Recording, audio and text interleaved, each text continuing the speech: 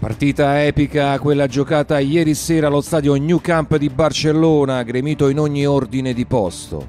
I catalani guidati per mano, anzi con i piedi, da un super Messi in serata, li guida con un secco 3-0 la pratica Bayern Monaco, lasciando in preda allo sconforto l'ex allenatore Pep Guardiola.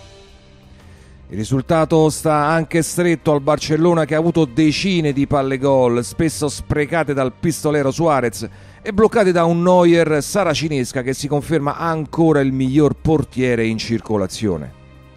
Ma nulla può anche il più forte dei portieri se ha davanti a sé un Messi ispirato che nel primo gol prende la mira e col suo magico sinistro pone la palla all'angolo basso alla sinistra del portiere tedesco. Il secondo gol di Messi è da antologia.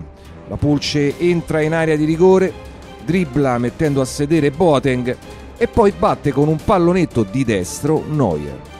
Il ricordo di Diego Armando Maradona investe tutti gli spettatori con uno stadio in osannazione per il loro beniamino.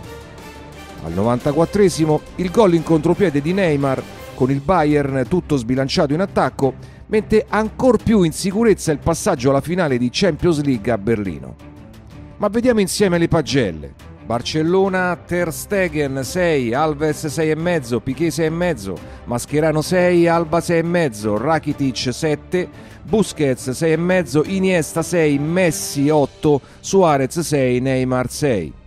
Le pagelle del Bayern Monaco, Neuer 8, Rafinha 6, Benatia 6, Boateng 5, Bernat 4, Alonso 5, Müller 6, Lam 6, Schweinsteiger 6, Alcantara 5 e Lewandowski 6 e mezzo.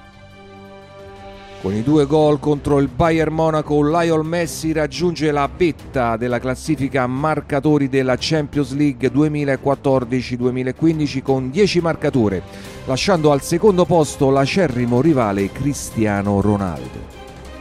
Il ritorno si gioca il prossimo martedì 12 maggio in Germania, mentre l'altra semifinale Real Madrid-Juventus mercoledì 13. I bianconeri sognano una finale magari proprio contro il Barça. Anche nella classifica degli assist o passaggi da gol, la Pulce è al primo posto, confermandosi senza dubbio tra i più forti calciatori della competizione anche per questa stagione della Champions League.